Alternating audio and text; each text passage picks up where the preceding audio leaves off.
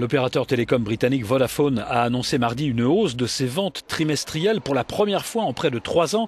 Ceci constitue le dernier signe en date que le marché européen de la téléphonie mobile est enfin engagé dans la voie de la reprise. Le numéro 2 mondial du secteur de la téléphonie mobile, touché ces dernières années par la contraction des dépenses des consommateurs, n'exclut pas une hausse de son bénéfice 2015-2016.